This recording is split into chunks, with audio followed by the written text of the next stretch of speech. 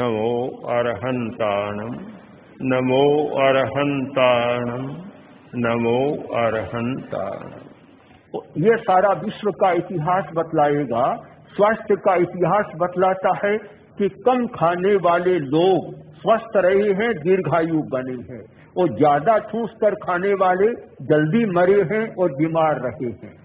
उनोदरी भी उपवास से कम नहीं है, अनशन से कम नहीं है अपाहारा अल्पाहार, कम खाओ। धारणा बन गई, इतना तो रोज खाना ही चाहिए। प्राचीन काल की धारणा भिन्न थी।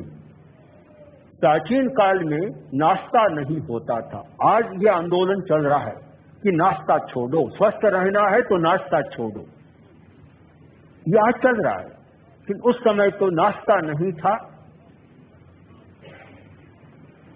जब नाश्ता ही नहीं था तो उससे ही पी पीने की तो बात ही नहीं थी। कोई नाश्ता नहीं था, केवल एक भक्तम च भोजनम, एक भक्त का भोजन। जो एक भक्त भोजन करता है, एक बार भोजन करता है, बीमारियों की आशंका अपने आप कम हो जाएगी।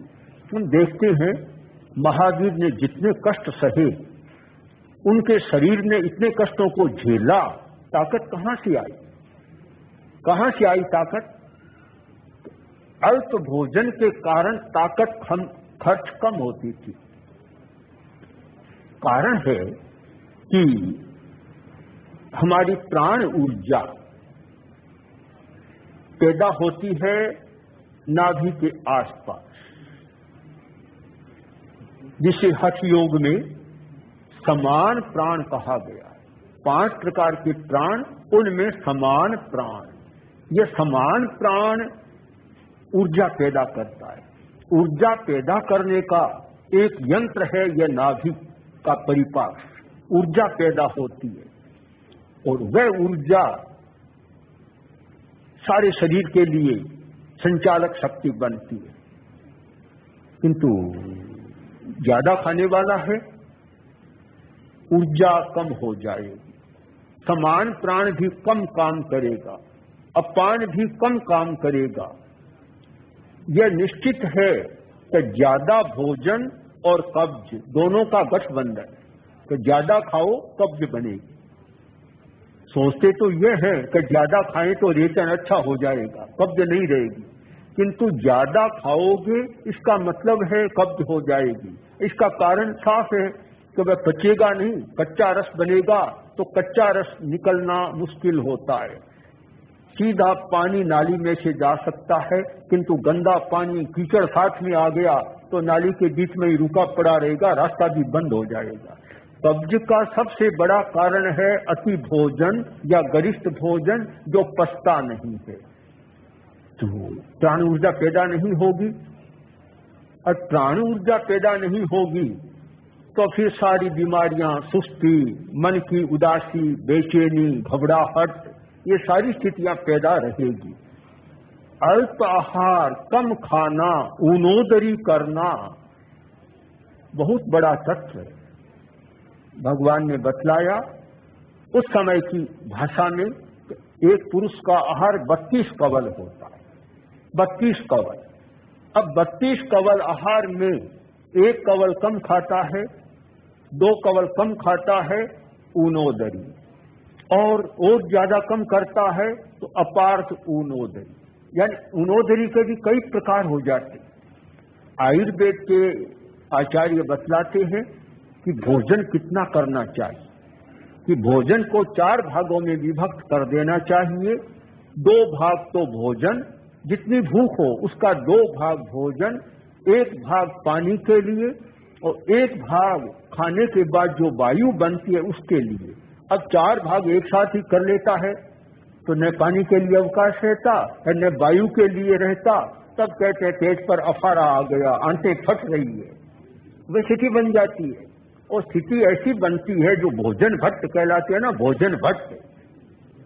कोई एक कहानी आती है कि मथुरा की या वहाँ की कोई कहानी है सास ने कहा कि बहुरानी खाट बिछा दो। क्यों? कि तुम्हारा ससुर भोजन करने गया है, आने के बाद एक क्षण भी टिक नहीं पाएगा, उसे लेटना पड़ेगा। इसलिए खाट पहले से तैयार कर दो। वह बोली, सास, ऐसा होता है, हमारे यहाँ तो ऐसा नहीं होता।